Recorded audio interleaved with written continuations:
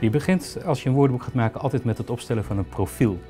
Uh, in dit geval hebben we bepaald dat het Dikke van Dalen een publiekswoordenboek is dat relevante informatie geeft over uitdrukkingen en woorden die courant zijn of courant zijn geweest in de afgelopen 100 à 150 jaar.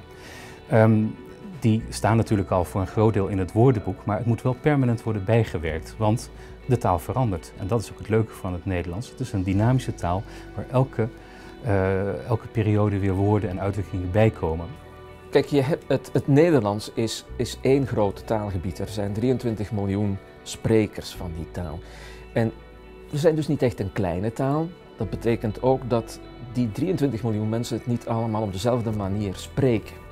Um, voor, uh, voor deze editie, de 15e, hebben we echt wel ingezet op een vervlaamsing van het woordenboek. Dat wil zeggen, we hebben geprobeerd om het Nederlands zoals dat in Vlaanderen wordt gesproken beter te beschrijven dan nu al het geval was in de 14e editie.